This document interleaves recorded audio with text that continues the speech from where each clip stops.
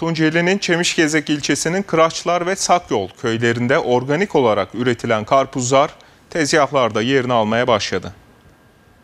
Tunceli'nin Çemişgezek ilçesinde üretilen organik karpuzlara vatandaşlar yoğun ilgi gösteriyor. Kadıroz karpuzlarını e, çıktığı zaman biz de sofralarımızdan eksik etmiyoruz.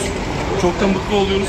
Organik olduğu için, e, susuz tarımla üretildiği için e, çok da güzel oluyor, tatlı oluyor. E, bu mevsimi özellikle bekliyoruz ki Kadıroz karpuzlarını sofralarımızdan eksik etmeyin diye. Çemişgeze'ye bağlı Kıraçlar ve Sakyol başta olmak üzere çevre köylerde ailelerin ekonomilerine önemli bir katkı sunan organik karpuzun hasadı başladı. İlçemiz Kıraçlar ve Pulur köylerinde yetiştirilmekte olan susuz ortamda, susuz tarlalarda yetiştirilen bu karpuzlar sofralarımızda ayrı bir tat ve lezzetle yer almaktadır.